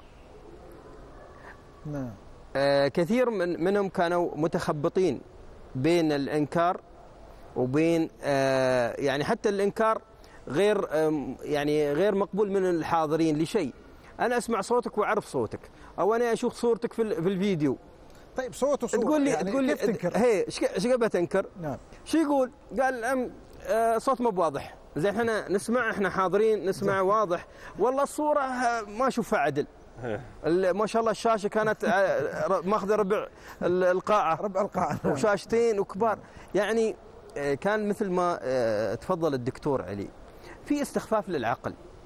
إحنا الموجودين. أنا أنا أنا حضرت ال- ال- المحاكمة من بداياتها واتصلت بالقضية حتى قبل الإحالة. يعني كثير من الادعاءات اللي هم يدعونها لا لها أساس من الواقع. سواء كان يعني ادعوا إنه تعذيب ويا محاميهم وقال لا أنا آه، يسمونه ما ما ما, ما حد تعذب في أول الجلسات ولا واحد يا وقال إنه تعذبوا. اخبرك متى أول مرة قالوا إن إحنا تعذبنا في الجلسات؟ متى؟ اخبرك كنا جالسين يو دخلوا أربع. آه ثلاث. بدل واحد بكندورة ويلسوا قدام. إحنا نتساءل منو هذيلا قد تكون احد المؤ... يعني المنظمات الحقوقية أو شيء من هذا القبيل. وينقز واحد من المتهمين ويركض على الميكروفون. يقول أيوه كذا أحلفك. يقول حق القاضي أحلفك أنا تعذبت أنا عذبوني أنا سووا لي أنا كذا أنا كذا. قال له استريح. عقب نادى عليه قال هذا الخبراء انزين وهذا اللي بيتتبعون أموال التنظيم. فعرفنا منهم. نعم. عقب ما روح الخبر قال الحين تعال شو عندك؟ شفنا حتى الحماس خف. خف. يعني آه للأسف. من جهات أجنبية طبعا موجودة. جهات هي- أجنبية آه للأسف للأسف. ليش هم يستقوون دائما بهذه المنظمات الأجنبية؟ آه لأن ثبت أن لهم تواصل مع هذه المنظمات. وأنا أخبرك كنا آه، في جنيف في بداية شهر ستة. إحنا طبعا آه، منفتحين على الجميع. نتكلم ويا المنظمات ونشوفهم نتعلم منهم وإلى آخره. واحد من هالمنظمات قالوا إحنا تواصلوا ويانا. جماعة إنزين على أساس إن إحنا نصدر بيان آه، استنكار بعد الحكم. يعني مجهزين نفسهم زين إنه بيصدر حكم وإن هالمنظمات بتدخل وبتأثر على دولة الإمارات. والله يا أخي تعرف تشعر ذاك الوقت بحسرة أن مواطن إماراتي زين ممكن أنه آه، يستنجد بمنظمة أقوله- ضد دولته هذا اللي أبغى أقوله أبو عبد الله يعني الاستقواء بهذه المنظمات الأجنبية ألا يعتبر هذا انتهاك ل- آه، لسيادة الدولة؟ ويعتبر جريمة ويعتبر إذا جريمة. كان إذا كان إجرام، نعم. نعم أن قانون العقوبات نص أن أي تواصل مع منظمات أجنبية الغرض منها زعزعة أمن دولة الإمارات يعتبر جريمة ومعاقب عليها. هل أنت كنت تتوقع هذه الأحكام؟ أنا أنا شوف أنا ك- كقانون أقول المشرع له حكمة. المشرع لما جاء وقال 15 سنة رأفة بأن الناس اللي ممكن يغيرون فكرهم يتراجعون عن هذا الفكر انهم يتنورون زيادة انزين؟ ويخلعون بيعتهم للمرشد أو لخلاف أو غيره. يعني هذه الأحكام فيها رحمة. طبعا أنا يعني بوجهة نظري أن ال- القاضي لم يأخذ بالحد الأقصى. خذ بحد شو هو الحد يراه الأقصى؟ 15 سنة. الحد الأقصى 15 نعم في هذه العقوبة التي قدمتها النيابة العامة 15 سنة. ولكن القاضي لأسباب كثيرة هو ممكن أن يبينها في حكمه. أخذ بمدة أقل من ال- ال- الفترة ال- الحد القصوى. الأقصى. نعم. نزل في بعض ال- الأحكام لبعض الناس إلى سبع سنوات. وبرأ مجموعة كبيرة منهم نعم، لأن 25. الأدلة أي هذا دليل واضح للذي لكل من يهاجم قضاء الإمارات. قضاء الإمارات قضاء عادل. ونزيه. ونزيه نعم. ومستقل. لذلك الأحكام تفاوتت بين شخص وآخر. صحيح. وتم تبرئة آخرين. حتى اللي برأتهم المحكمة ما اتخذت أي إجراء آه، احترازي عليهم. ما جت وقالت والله بعد بنحطهم تحت المراقبة حطت الم- المحكومين فقط. لذلك تشوف الحكم يوم تيجي تقراه وتتمعن فيه تشوف أن هذه المحكمة محكمة نعم مستقلة ونزيهة وعادلة والقاضي جزاه الله خير قدر العقوبة على حسب الفعل الذي يراه أنه آه، قد ارتكب من جريمة. الله سبحانه وتعالى يقول في كتاب العزيز إن الله يأمركم أن تؤدوا الأمانات إلى أهلها. هل ما قام به أعضاء التنظيم السري يعتبر خيانة للأمانة وعدم صيانة للأهل والعائلة؟ هذه خيانة واضحة جدا. خيانة واضحة. للع- للأهل والعائلة؟ نعم للأهل والعائلة ولكل المجتمع برمته. خيانة لأن الله عز وجل أمرنا بأداء الأمانة. أداء الأمانة بأن أنظر إلى الأمانة كيفية أدائها. أنا مسلم ومن بالله عز وجل وبالرسول صلى الله عليه وسلم. ديني يأمرني بأشياء. أنا في حالة عدم تطبيق هذه الأمور أنا خنت هذه الأمانة. من الأمور التي حثنا الله عز وجل عليها طاعة ولاة الأمور. من الأمور التي حثنا الله عز وجل عليها بأن لا أسعى في الأرض فسادا. من الأمور حث عليها الرسول صلى الله عليه وسلم بإني أسمع وأطع لولي أمري مهما كان. ولذلك جاءت الأحاديث تبين بقوة مع أنه هو الرسول صلى الله عليه وسلم ما حد يعصي كلامه ما حد يخالف كلامه ما حد يخالف كلامه. صح. طيب ليش هذه الأحاديث تسليط الضوء عليها؟ ليش؟ لأن هناك خيانات سوف تكون. من من؟ من الناس. ولذلك لما هذا الإنسان هذا فهمه قاصر جدا. فهم قاصر يظن أنه هو الآن لما يعمل هذا الأمر إنما هو يسعى إلى شيء معين ولأجل سي من الناس لا هو ما ضر سي من الناس هو ضر نفسه وضر مجتمعه ضر دينه ضر أهله ضر المجتمع بكل أطيافه وبكل يعني أحزابه لذلك صحيح. هؤلاء هم أصحاب خيانة خيانة عظمى ولذلك لما قال مسألة حد أدنى وحد أقصى للحكم لماذا؟ لأنهم أصحاب خيانة الرسول صلى الله عليه وسلم شدد عليهم أكثر حتى في هذا الجانب. لماذا؟ لأن ما يترتب على هذه الخيانة من هتك هتك الأعراض من إسالة الدماء من آه، آه، سلب الأموال من ضاعة الدين ضاعة العقول وما سوى ذلك. ولذلك هذه المشكلة تتعرض ليش؟ العقول عقول أجيالنا نحن التي ستأتي بعد ذلك. نعم. وهذه خطيرة جدا. أنا كنت في مدرسة فأسألهم تدخلون تويتر؟ قال ندخل تويتر. مثلا مدرسة الثانوية ف90% يدخلون تويتر. طيب لما تدخلون تويتر أنتم إيش تشوفون؟ قال والله صراحة نشوف هذا فلان اللي يتكلم على الشيخ الفلاني ونشوف اللي يتكلم على دولتنا. طيب أنتم ترضون بهذا الأمر؟ مشكلة إحنا الآن لما يكون هذا الطفل يسمع هذه الأمور لكن ما يحصل إيش؟ من يرد عنه. ما يحصل من يرد عنه. ولذلك جاءت الأقوال من العلماء لا تجعل قلبك كالسفنجة، شوف الاسفنجه الحين لا تصب عليه ماء يشربه على طول، تصب عليه ماء، تصب عليه غاز، تصب عليه بترول يشربه. لكن قال اجعل قلبك إيش؟ كالزجاجه المصمته إنه ما تشرب أي شيء. ما تشرب أي شيء، ولذلك بذور الخيانة تحدث في نفوس عيالنا في البداية ويولد هذا الأمر أشياء نحن ما نرضاها لا في ديننا ولا في مجتمعاتنا. صحيح. دكتور أنا عندي سؤال وباخذ إجابته بعد بعد الفاصل. السؤال يقول دكتور شو هي المخاطر اللي تمثلها مثل هذه التنظيمات على أمن وسلامة مجتمع الإمارات؟ أسمع الإجابة منك بعد الفاصل.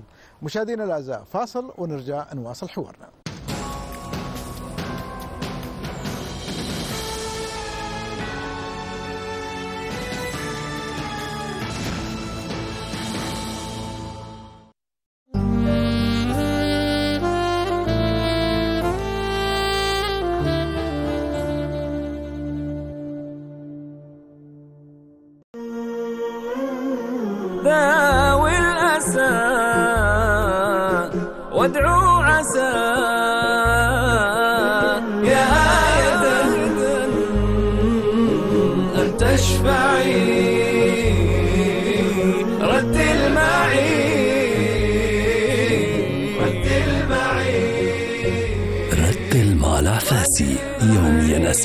مساء على قناة أبو ظبي الإمارات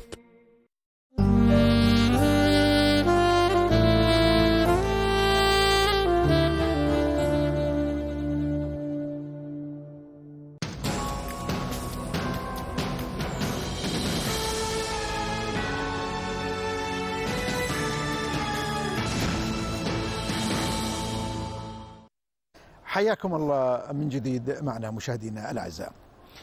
آه، دكتور علي آه، سألتك آه، قبل الفاصل عن خطورة مثل هذه التنظيمات على أمن وسلامة مجتمعنا في دولة الإمارات. آه، في الحقيقة بداية. طبيعة دولة الإمارات. الإمارات دولة منفتحة. آه، فيها يعني ما يقارب من 200 جنسية. صحيح. و يعني تتمتع ب يعني بأنها تسعى إلى أن تتصدر العالم في مجالات متعددة ومنها أن تكون هي نقطة استقطاب بين الشرق والغرب والشمال والجنوب. ولذلك الاستقرار والحرية نعم. والعدالة في غاية الأهمية كي نت- كي نصل إلى إلى مثل هذا ال ال الهدف. ولذلك المهم جدا هنا أن الدولة الدولة لا تبحث عن أزمات. الدولة لا تبحث عن مشكلات بل الدولة تسعى إلى أن تحقق الاستقرار للجميع. كي يعني تسعى في التنمية. ونحن الحقيقة يعني لما تتأمل أنت حكومتنا مشغولة مشغولة بماذا؟ ببناء المستقبل. نعم. وتسخر كل الموارد والطاقات لتحقيق هذا. لما تأتيك تنظيمات هذه التنظيمات بطبيعتها أينما وجدت تهدم ولا تبني تفرق ولا تجمع. إذا كنت أنت تريد أن تكون إذا أنت لديك انتماء لهذا البلد وتريد أن تكون عضو فاعل وإنسان إيجابي فيه شارك في عملية البناء. صحيح. ضع يدك في يد بقية من إخوانك وأخواتك الذين يسهمون في تنمية هذا ال- البلد. خليك إيجابي. نعم. انضوائك في تنظيمات سرية. هذا يضع علامة استفهام على أن القضية ليست قضية تنمية. صحيح. القضية ليست قضية مستقبل أبنائنا وأجيالنا. القضية ليست قضية استقرار هذا البلد ورفاهية أبنائه. إنما قضية لها أهداف آه، أخرى. ولذلك معارض أخرى. ولذلك أينما وجدت هذه التنظيمات بغض النظر عن مسمياتها لها أجندات. وتشكل خطر الحقيقة على السلم الاجتماعي. صحيح. وأنا أعطيك مثال. آه، أحد المحكومين عليهم الآن بعشر سنوات لما أراد يرد على الشيخ سلطان كتب تغريدات في غاية التشنج. مما كتب مثلا قال نحن من أربعين سنة ساكتين عنكم. الآن سنتحرك. صحيح. طيب أربعين سنة وأنت تشاهد هذا البلد يتطور يوم بعد ويرقى. يوم. نعم. ويشهد بهذا البعيد قبل القريب. وكل من يعني كل كل من جاء إلى هذا البلد يصدم أن الدولة 40 سنة. المتحقق ويأتي واحد مثل هؤلاء لأنه وضع نفسه في قالب تنظيم. يفكر من خلال منظور هذا التنظيم يقول لك نحن ساكتين عليكم أربعين سنة. ما خجل من نفسه. وهو يكتب التغرده لا أو وهذه تغريدة. موجودة هذه تغريدة موجودة تغريدة وقرأها- موجودة. وقرأها الكثير شو بيسوي زيادة؟ شو بيسوي؟ يعني أنا- أنا, أنا كنت كنت شو مع بيسوي؟ واحد؟ يكلم واحد من أصحاب التنظيم يقول له طيب أسألك أنت شو بتسوي زيادة؟ سكت طبعا ما عنده شيء؟ يضيفه ما عنده شيء ثاني شو بيسوي؟ وفشلهم واضح صحيح وبين ويستخدمون يعني دخل قال يا يعني هذا هذا الشخص ذاته قال يا يا عرب فارس هذه الطريقة. يا عجم الإمارات آن الأوان أن تتحركوا. يعني بدأ يستخدم آه، أسلوب لا يليق بالدين ولا بأخلاقه طيب ويفرق ويمزق المجتمع. لكن ما عندهم شيء يدعهم من استخدام الأساليب إذا كانت ستحقق مبتغاهم. ومبتغاهم هنا. تفريق المجتمع. هم أفكارهم هذه في أساس في في نظامهم التفرقة. نعم. حتى أنهم يستطيعون السيطرة على البقية. طيب أنا. أنا ابى أرجع إلى ال- الأستاذ سعيد. يعني أنت ما شاء الله عليك آه، من الشباب. ابى يعني اباك آه، تقدم آه، نصيحتك كيف اليوم نحن نحمي شبابنا من من من هذه الأفكار اللي يمكن تنال من أمننا واستقرار وطننا. يعني كيف نحميهم سعيد؟ شباب الإمارات طبعا ما عليه خوف. لما تخوض في المجتمع وتشوف وتشوف الشب- الشباب الإماراتي الواعي تلقاهم من من ناحية التطوع للعمل في تنمية الدولة من ناحية التطوير. الشباب الإماراتي يعمل. الشباب الإماراتي متوحد وملتحم. وفي قدامه هدف. الهدف اللي أمامه اللي هي المحافظة على وحدة الإمارات. هذه لها أسباب أو لها دوافع. من ضمن الدوافع اللي أنا ش... أنا إذا. أشوف إنها ساهمت كثير في المحافظة على شباب الإمارات يكفي إن الشيخ زايد بن سلطان الله, الله يرحمه. الله يغفر خاطب الشباب في ثلاث قصايد. يا ذا الشباب الباني بادر وقم بجهود يا شباب الوطن لبوا نداكم نعم. يا ذا الشباب اللي غطاريف. ثلاث قصايد خاطبهن الشباب لأن الش- الشباب الشيخ زايد كال- كالفرق المعروف بين القائد والمدير أن القائد يهتم في الشعب والمدير دائما يهتم في ال- في المشاريع وال والعوائد من المشاريع هذه. زايد تميز الله يرحمه أنه اهتم في الشعب. من ضمن الشعب الثروة اللي شاف فيهم الثروة اللي راح ينتجونها لل- للوطن صحيح. الشباب. أيضا الشيخ محمد الله يطول في عمره الشيخ محمد بن زايد الله لما في في فيديو انتشر لما سأل مجموعة من الشباب قال لهم لما يخلص عندنا البترول شو راح نسوي؟ طبعا سؤال جديد عليهم فهم انصدموا وما عرفوا الجواب على هذا السؤال شو فقال لهم أنتم أنتم الشباب هذه بنفسها دفعة معنوية للعمل والاجتهاد لصالح الوطن صحيح إشكالية شو عندنا؟ إحنا بحاجة إلى تكاتف جميع المؤسسات. مؤسسه واحدة مستحيل أنها تؤدي صحيح. الهدف المنشود.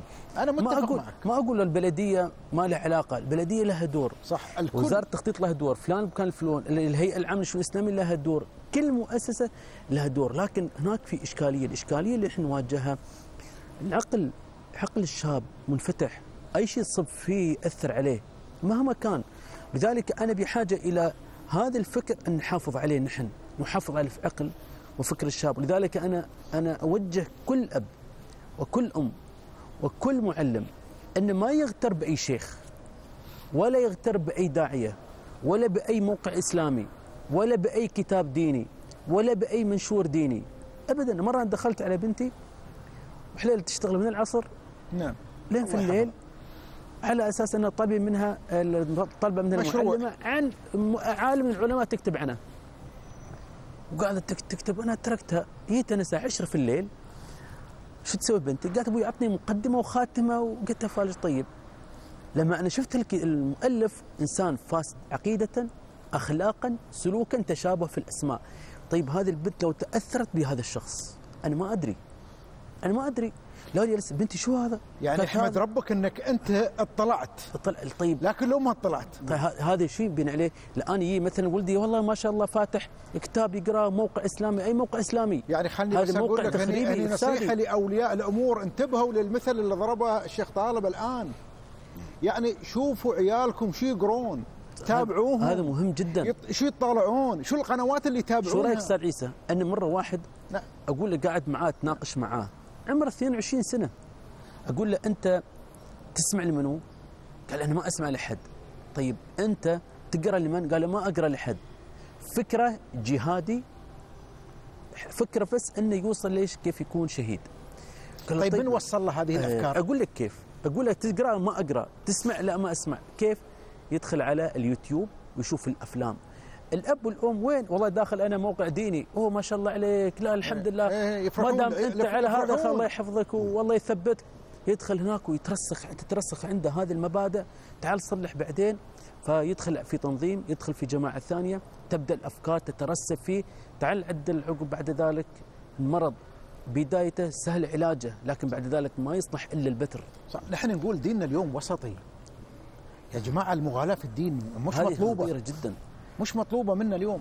أنا أعتقد في هذا الموضوع الحقيقة نحن بحاجة إلى أن الجميع يتحمل مسؤولية الوطنية. صحيح صحيح. الأسرة يجب أن تحرص على أن تتحمل مسؤوليتها أمام أبنائها.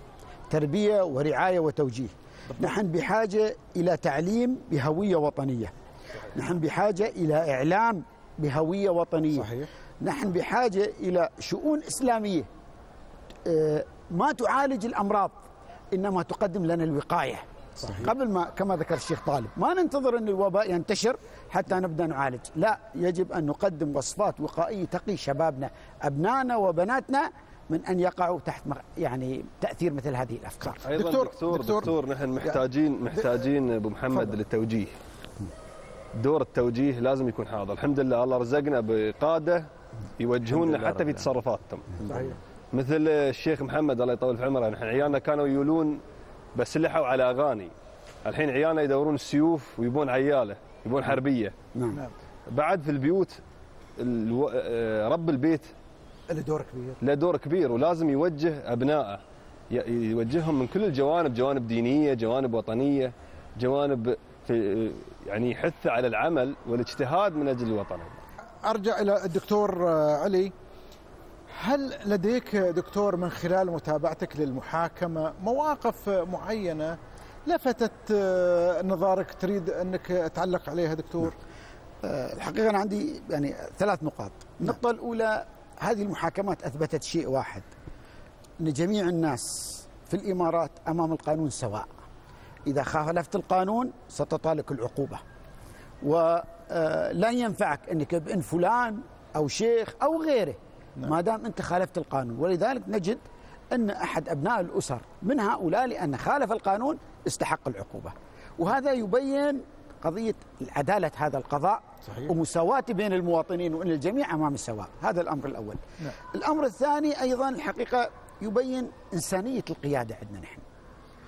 إحدى المتهمات خلال الجلسات كان معروف أنها آه، اشتكت من عارض صحي.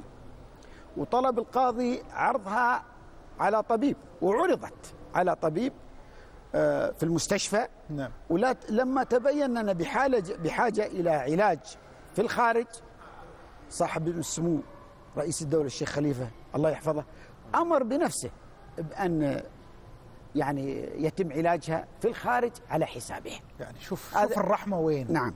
يعني تجاوز كل الأعراف اللي نعم. تعارف عليها الناس في مثل هذه القضايا. متهمة متهمة نعم. وتطلع من السجن ويسافرونها خارج الدولة حتى تتعالج. تعامل معها بحس الأب راعي الأسرة. يا سلام. هذا الموقف الثاني. الموقف الثالث موقف شخصي. آه، أنا الحقيقة قبل فترة زارني أحد أبناء المحكومين اللي حكم عليهم بعشر سنوات.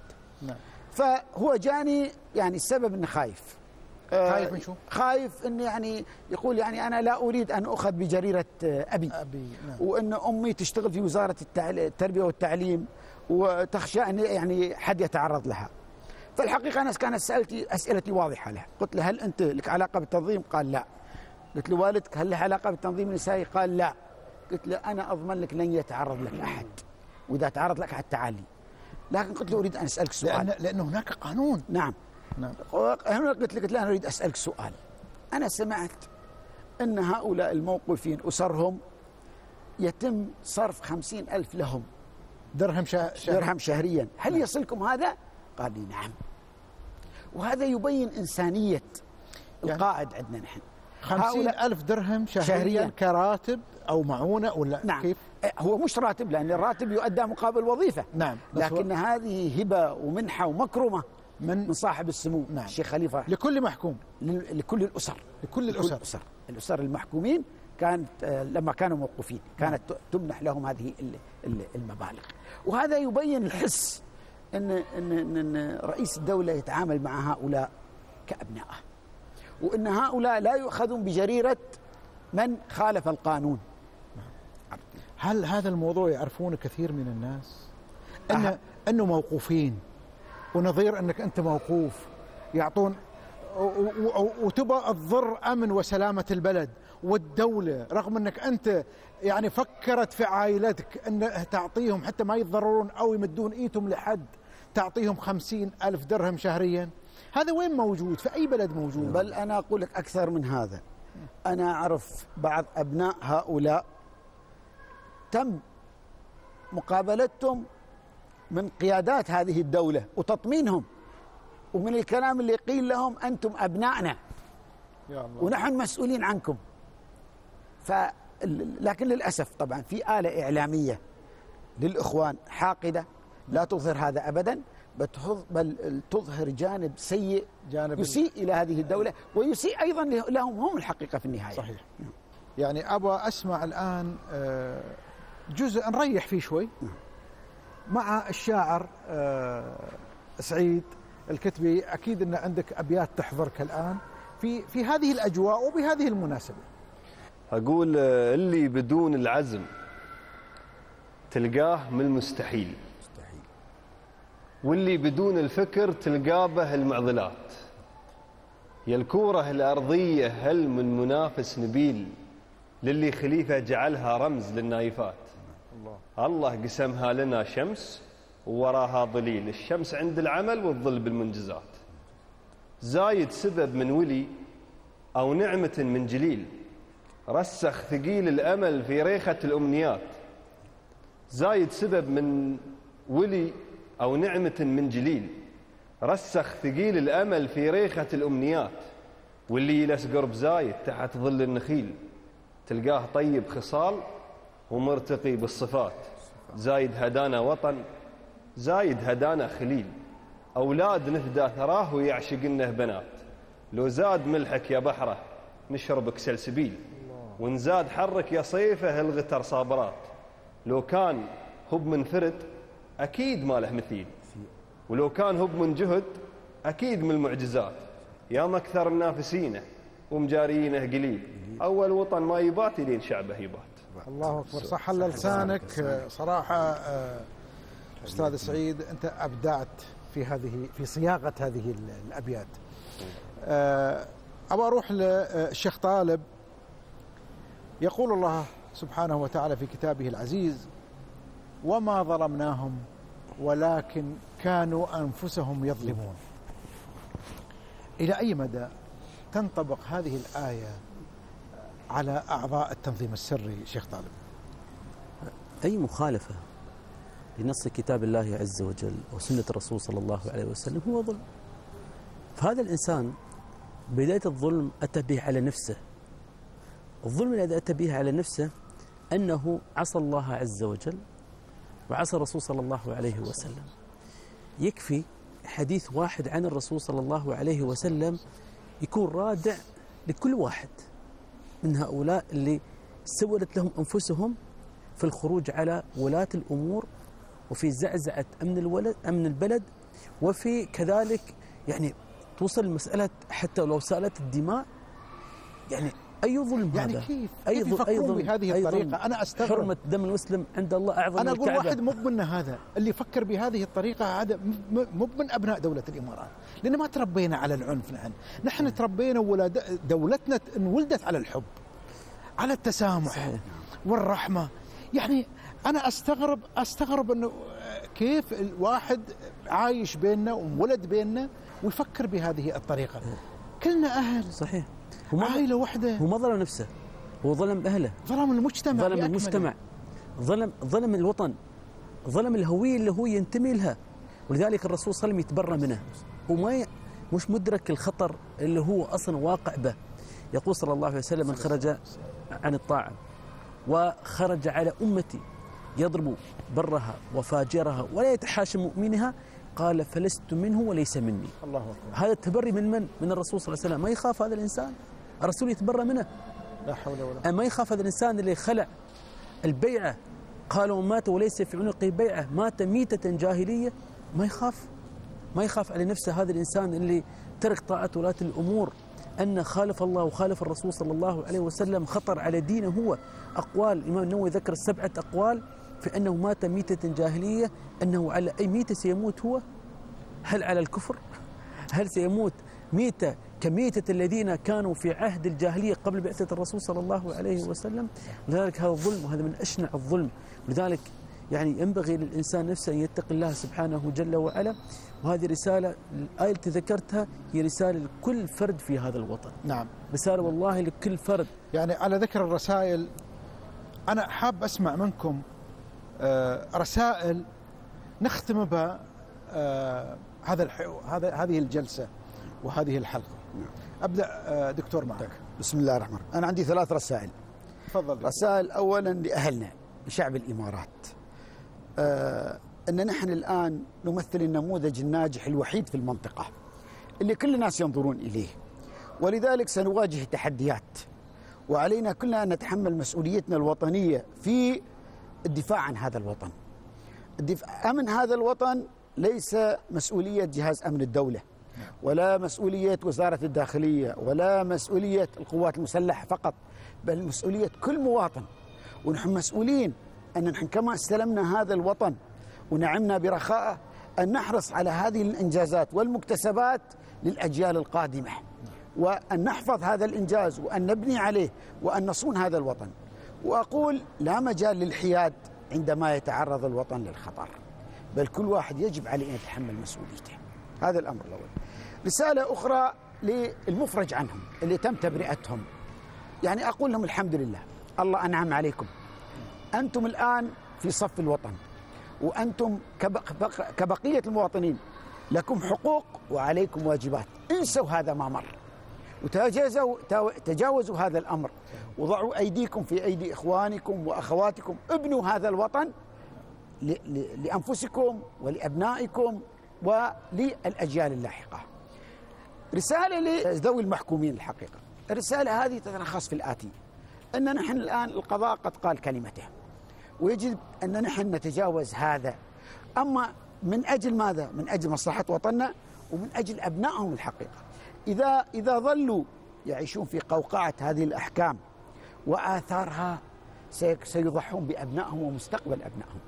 عليهم أن ينخرطوا في هذا المجتمع. وأن يتجاوزوا هذا الأمر وأن يربوا أبنائهم على أن يكونوا لبنات صالحة في بناء هذا ال- الوطن. الرسالة الأولى أوجهها إلى شعب الإمارات. نعم. إحنا مرينا بمخاض صعب جدا. ولكن تفاجأنا أن كثير من الناس المتحدثين الجيدين أصحاب ال- ال- المناصب المثقفين الشعراء ما نطقوا ولا كلمة بحق هذا الوطن. فأنا أدعوهم أن لا يستمرون في سكوتهم.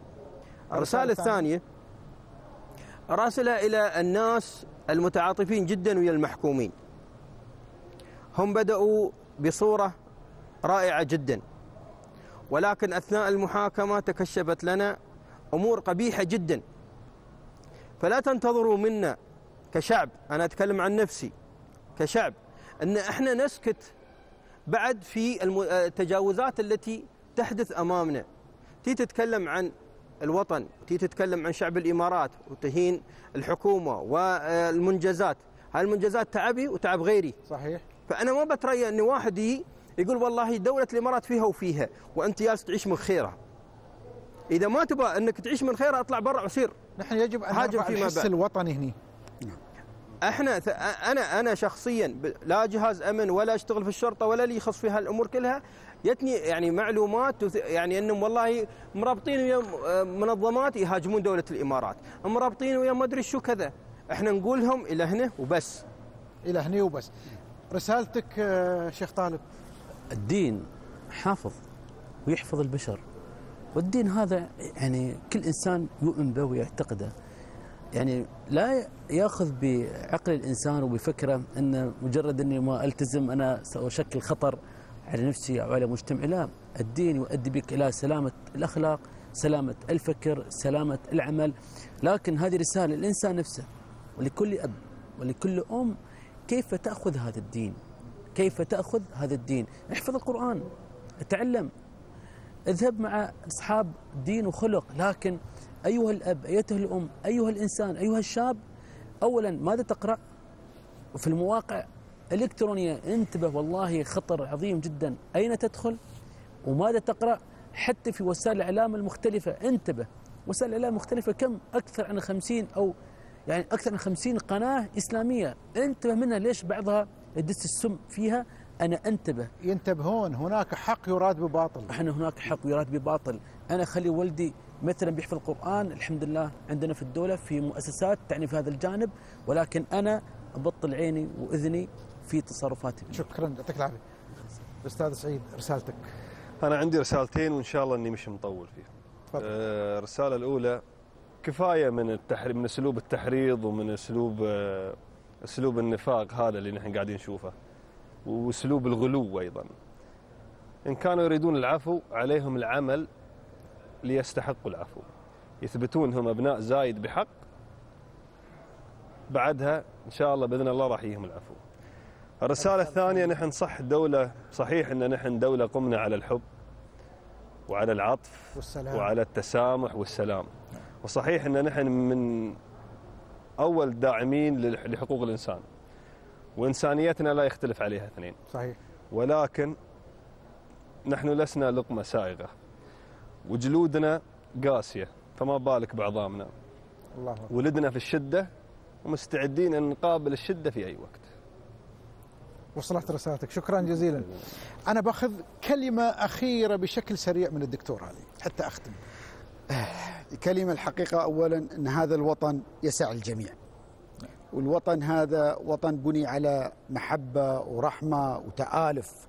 ووطن يعني يرقى بأبنائه ويسعى لخد لخدمة هذا الشعب. والحقيقة يعني أنا يعني آه، تحضرني الآن كلمة آه، الشيخ محمد بن راشد لما قال قال نحن حكومة نعمل لخدمة شعبنا. الله أكبر. شكرا جزيلا. وأيضا قال كلمة قال نحن أيضا في مقام آخر قال نحن حكومة نعمل لإسعاد شعبنا. صحيح وهذا اللي نلمس ونعايش به. ولذلك نحن صنفنا من أسعد الشعوب في العالم. أشكرك دكتور علي على آه، معلوماتك وعلى كلماتك الرائعة آه، اللي جاءت في حق الوطن. الله يبارك كما أشكر أيضا آه، الشيخ طالب الشحي على حضوره وتشريفه معنا اليوم ومشاركته في هذا الحوار. أيضا الشكر موصول إلى الكاتب آه، والإعلامي الإماراتي سعيد الكتبي. والشكر أيضا إلى الأستاذ زايد الشامسي المستشار القانوني ورئيس جمعية المحامين والحقوقيين. شكرا آه، أبو عبد الله لكم. والشكر موصول لكم آه، مشاهدينا الأعزاء. وإلى هنا نأتي إلى نهاية حلقتنا الخاصة إلا الوطن. عاشت الإمارات حرة آمنة مطمئنة وعاش شعبها كريما في ظل قيادتنا الرشيدة التي زرعت فينا حب الوطن شعبا وقيادة وارضا. أستودعكم الله والسلام عليكم ورحمة الله وبركاته.